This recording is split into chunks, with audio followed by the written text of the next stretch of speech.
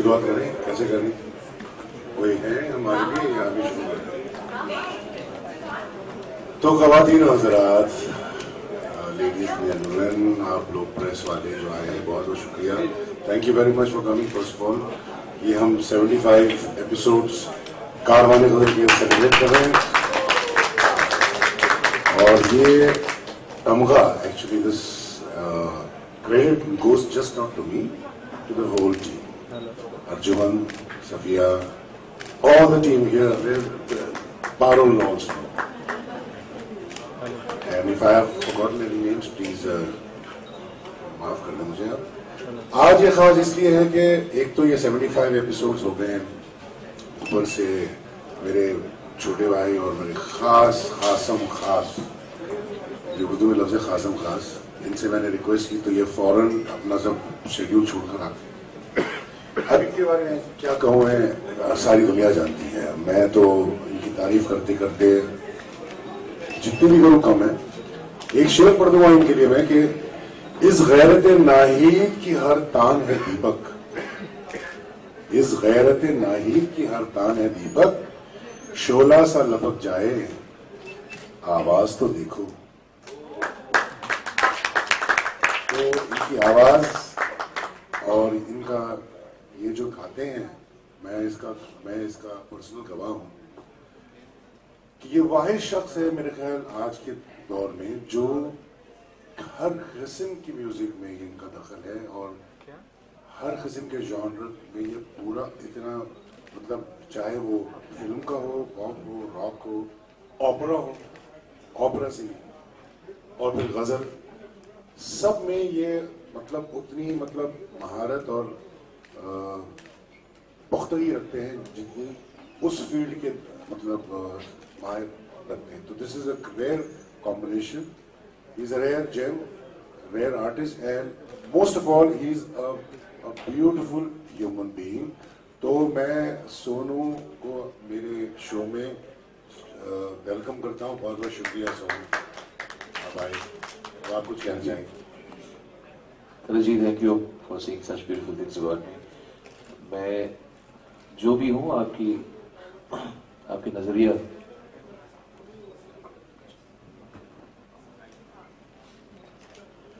आपने मेरे बारे में जो जो कहा, मुझे I can only thank you with lot of respect and surrender आप खुद ऐसे हैं तो आपका नज़रिया ऐसा है कि आप लोगों में अच्छाई देखते हैं। जैसा कि आप सभी जानते हैं कि गज़ल का जो एक आर्ट फॉर्म है वो बहुत ही रिस्पेक्टेड आर्ट फॉर्म है और कई आ, मेरे ख्याल में मोर देन कपल सेंचुरीज हो गया कुछ गज़ल को है ना? आपका माइक्रोफोन थोड़ा सा तक, तकलीफ़ दे रहा है? गज़ल वैसे गायकी में गज़ल गाना जो शुरू हुआ ये शुरू हुई कोठी से। लेकिन रिस्पेक्टेबिलिटी मिली बेगम अख्तर साहिबा से उन्होंने फिर इसको कोठे से लेकर ड्राइंग रूम तक लाया। गायकी की बात करो हालाँकि गज़ल लिखी जा रही है 200-300 साल से। तो उसे संगीत में फिर बहुत सारे आ, कमाल के जाने वाले गज़ल नवाजों ने और उनमें सबसे एक और बेहतरीन नग जिनसे मैंने बहुत कुछ सीखा है। अब तो मैंने जानता भी बहुत अच्छी तरीके से हूँ तो उनसे एज ए ह्यूमन भी मैंने बहुत कुछ सीखा है। और इवन गज़लों के बारे में, उर्दू के बारे में, कई चीज़ें इनसे उठते बैठते हम सुनते रहते हैं। विधिवत ना बैठे तो क्या हो गया? कभी कभी इंसान ज़्यादा अच्छा सीखता है जब संगति अच्छी होती है। तो इनके साथ बैठ के वो सब चीज़ें ब्लेस यू वो सब चीज़ें सीखी हैं। इनका सेवेंटी फिफ्थ एपिसोड है कारवान गज़ल का। कारवान गज़ल एक्चुअली हमारी एक एल्बम का नाम है जो तरज जी ने कुछ सालों पहले निकाली थी और उसमें मैं इसका एक हिस्सा बना था। एक गज़ल मैं उनके साथ में डुएट गाई थी। वो मेरे लिए बहुत ही बहुत ही यादगार गज़ल है। अनफॉर्चुनेटली वो आजकल ऐसा है कि टेलीविज़न या रेडियोज फिल्मी म्यूज़िक के अलावा कुछ बजाते नहीं है तो हमें और कुछ सुनने का, सुनाने का मौका नहीं मिल पाता। लेकिन ये गज़ल जिन जिन लोगों ने सुनी है या जिन जिन लोगों ने इसे एक्चुअली एंजॉय किया है। सॉरी सॉरी यहाँ पर तो वो 92.7 बजाता है नॉन फ़िल्म बजाते हैं ना? हाँ। गज़ल की कारवानी गज़ल में तो हम यही बजाते हैं ना। हाँ बजाते हैं वेरी गुड चलो अच्छी बात है। Uh, लेकिन वही we need more people generally बात करें more people who have to encourage other art forms uh, or you know, fa- art forms other than film music. तो ये गज़ल इनके साथ में मैंने गाई थी और कारवान गज़ल अपने इस शो का भी नाम है। पचहत्तरवा एपिसोड आप लोग का है। बहुत बहुत शुभकामनाएँ। और अभी हम जाके इस बारे में गुफ्तगू करना शुरू करेंगे और कुछ अच्छी अच्छी गज़लें बताएँगे, सुनवाएँगे, गाएँगे। यही मुझे उम्मीद है। हाँ लाइए।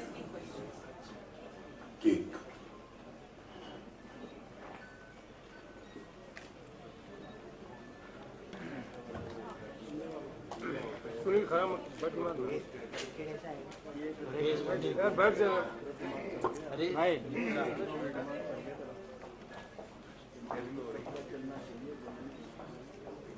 अरे अरे बैठ जा यार। बैठ जा पूरा फ्रेम में आ रहा पूरा सर आ रहा पूरा। अरे प्रेशर आ रहा है अरे, यार अरे, स्टील। स्टील।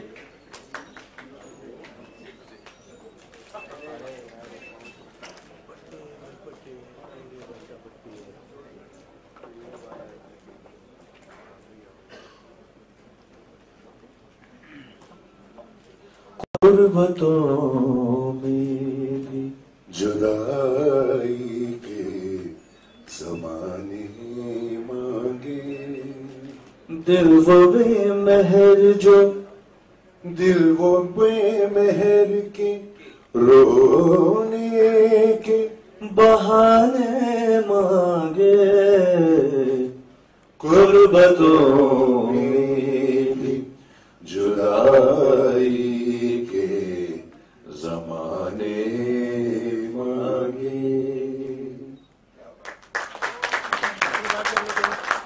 एक एक प्रोग्राम में लोगों ने फरमाइश की कि, पहले जी वो बाज़ार की गज़ल गाइए और ये बैठे थे। एंड सडनली ये इन्होंने कहा कि मुझे बोल याद नहीं, आप शुरू हो जाओ, मैं फॉलो यू ऐसे फॉलो किया, वो ऐसा बन गया कि आज भी मैं कहता हूँ, अगर रिहर्सल भी दूसरा करता अच्छा नहीं कर सकता। जी शो में सुनाई देगा वो। आप कारवाने गज़ल जो एपिसोड आएगा उसमें सुनिएगा अब यहाँ नहीं। थैंक यू वेरी मच और कोई सवाल करना चाहेंगे तो अगर पूछ लीजिए फिर आगे मत जाओ आगे मत जाओ भाई। जल्दी जल्दी हाँ। किसको देखो मैं कहाँ देखें अंदर? कैमरा कैमरा चलिए ये कारवान गज़ल का 75th एपिसोड मना रहे हैं हम और कारवान गज़ल की खासियत मैं ये कहना चाहूँगा कि ये वाहिद शो है जिसको एक बहुत ही बहुत ही प्रेस्टिजियस रेडियो अवार्ड मिला जिसका नाम है इंडिया रेडियो फोरम अवार्ड जो अगले पिछले साल मिला था। As the best non breakfast show जो कैटेगरी होती है। और इसकी जो स- मतलब ऑडियंस uh, है ये बढ़ती जा रही है बढ़ती जा रही है। इनफैक्ट मैं भी काफ़ी चीज़ें सीखी मुझे कुछ पता नहीं था पहले कि टीएसएल क्या होता है फला क्या होता है फला है। ये टीएसएल का मतलब टाइम स्पेंड लिसनिंग इसका हाईएस्ट टीएसएल है इस शो का, मुझे बताया गया। अब आप इन लोगों से पूछिए। कहते हैं कि इंडिया में 20 परसेंट शेयर है हमारा। मैं राइट हूँ, गलत हूँ? तो 20 परसेंट शेयर आज के ज़माने में गज़ल सुनने वाले वो सब बातें छोड़िए, ये तो अलग बात है, लेकिन मुझे इसका रिएक्शन कैसे पता लगता है? जब मैं शहरों में जाता हूँ, लोगों से सुनता हूँ, हर तबके के लोग, हर स्टार्टअप सोसाइटी चाहे वो अमीर हों या ड्राइवर्स हों, आगे कहते हैं कि साहब, आपका वो शोर सुना हमने कारवाने गज़ल मज़ा आया। तो मैं कहता हूँ, भाई, आप, आपको क्या मज़ा आता है? बोले, नहीं सर अच्छा लगता है, आप जो बोलते हैं, आप जो गाने सुनाते हैं, वो गाने ही बोलेंगे ना वो तो।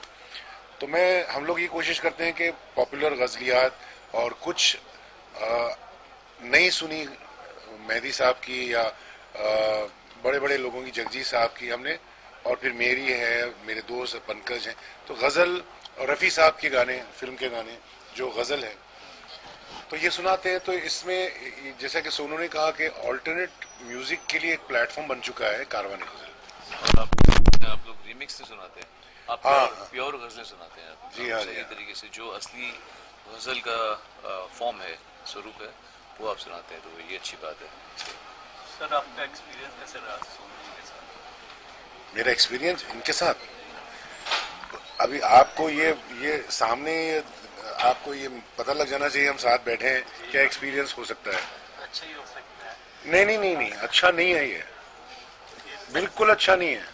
ये अच्छे से कई दूसरी दूसरे लेवल पे है। जी मेरा एक अलग खास रिश्ता है। इसको और it's it's a very wide spectrum बड़ा स्पेक्ट्रम इसका बहुत बड़ा है। उसमें एक लिहाज भी है हमेशा मेरी तरफ़ से मुझसे बड़े हैं और इनसे अ, कभी भी मैं बेतकल्लुफ़ी ना कर पाऊँ कभी गलती ना हो जाए तो ये लिहाज भी रहता है। एट द सेम टाइम एक खुलापन भी है इनसे कि इनसे शेयरिंग इनकी मेरी शेयरिंग हो जाती है हम आपस में बहुत प्यार करते हैं हमारी दोस्ती है। कभी कभी आपस में अ, मतलब एक तरह से ह्यूमर भी है हर चीज़ इन्वॉल्व है तो इस कभी फिलासफी इन्वॉल्व है कभी स्पिरिचुअलिटी इन्वॉल्व है कभी पॉलिटिक्स इन्वॉल्व है कभी दुनियादारी इन्वॉल्व है तो तरह जी मेरे एक अलग ही गहरा नाता है। उन सब के अलावा अगर हम कभी चुप भी बैठे हों तो भी हम चुपचाप बात कर रहे होंगे ये भी बात समझिए। ऑडियंस के लिए मैसेज बस आप जिस तरीके से कारवानी गज़ल को प्यार कर रहे हैं प्यार करते रहिए। और अ, हम क्या कहेंगे एक्चुअली अगर हम कहें भी तो मानेंगे थोड़ी आप लोग। तो इसलिए आप कर रहे हैं ये इसका मतलब आप खुद अपनी मर्ज़ी से कर रहे हैं। अगर आप लोग उसको लाइक कर रहे हैं तो आप अपनी मर्ज़ी से लाइक कर रहे हैं। तो ऐसे ही लाइक करते रहिए म्यूज़िक जिसने गज़लों से जो इंसान महरूम रह गया हो जो अछूता रह गया वो बहुत बदनसीब होगा म्यूज़िक का लवर क्योंकि आजकल के लोग वाकई में बहुत कम म्यूज़िक सुन पा रहे हैं। इतना सा म्यूज़िक सुनते इतना। मैंने बहुत सुन लिया थैंकफुली मैंने इतनी मतलब शायद वो ज़माना भी ऐसा था और हमारे आसपास का इन्फ्लुएंस ऐसा था कि हम लोगों ने भजन भी सुन लिए, गज़लें भी सुन ली क्लासिकल भी सुन लिया सेमी क्लासिकल भी सुन लिया इंग्लिश भी सुन लिया इंग्लिश के में डिफरेंट प्रकार के जैज भी सुन लिया रॉक भी सुन लिया ब्लूज भी सुन लिया आरएनडी भी सुन लिया। तो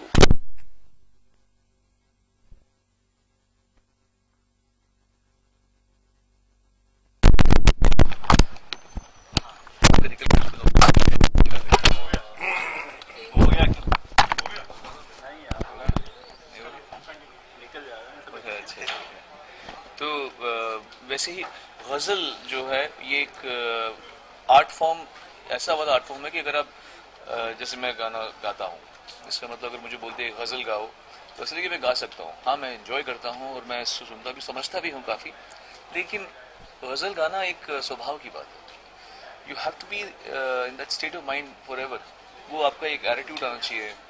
ऐसा नहीं कि आप गज़ल गा सकते हैं, कोई भी गा सकता है। हाँ गा सकते, कोई भी गा सकते पर ऑथेंटिकली उसके साथ में पूरा जस्टिस करना मेरे हिसाब से गज़ल एक बहुत ही रॉयल किस्म का आर्ट फॉर्म है।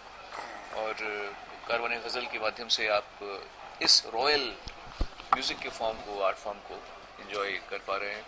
ऑल द बेस्ट मेरे एपिसोड में जो आप सुनेंगे। उसमें हम कोशिश करेंगे कि आपको मेरी पसंद की चीज़ें सुनाऊं। हाँ वो तो हाँ वो तो है गज़ल कहना में एक और भी बात है कि उर्दू जानना बहुत ज़रूरी होता है बिकॉज़ गज़ल को हम खड़ी हिंदी बोली में नहीं बोली जा सकते नहीं कह सकते। उर्दू के शब्द। अब उर्दू दा लोग तो गज़ल लिखते हैं लेकिन जो लोग सुन रहे हैं गज़लों को उनको उतनी उर्दू आती हो ये भी ज़रूरी नहीं है क्योंकि हम आ, आम भाषा में इतनी विकट उर्दू नहीं बोलते। उस इसीलिए तलत अज़ीज़ जी जब उसे समझाते हैं और उसे एक्सप्लेन करते हैं गज़ल को गज़ल के क्या होता है? मजमून- क्या होता है? मजमून को मजमून। मजमून को गज़ल के मजमून को समझाते हैं। मुझे पता था मैं आपसे निकलवाना चाहता था आपने निकाला नहीं तो जब ये समझाते हैं उसके खसूसियत को गज़ल गज़ल के मफहूम को मफहूम को खसूसियत को और जो ना समझे वो बफून नहीं नहीं ऐसी बात नहीं नहीं मज़ाक मैं भी मज़ाक we just try to lighten the atmosphere कि और गज़ल में एक और भी मतलब उर्दू में तो वैसे भी सेंस ऑफ़ ह्यूमर अच्छा होता ही है तो हम ह्यूमर डाल रहे हैं जो लोग उर्दू में आपस में बातें करते हैं वो उनके में उनमें ह्यूमर बड़ा अच्छा आता है। उर्दू भाषा में एक बड़ा अच्छा सा तंज है। तंज करेक्ट बोला? हाँ ठीक है। तो वैसे ही keep enjoying and all the best wishes thank you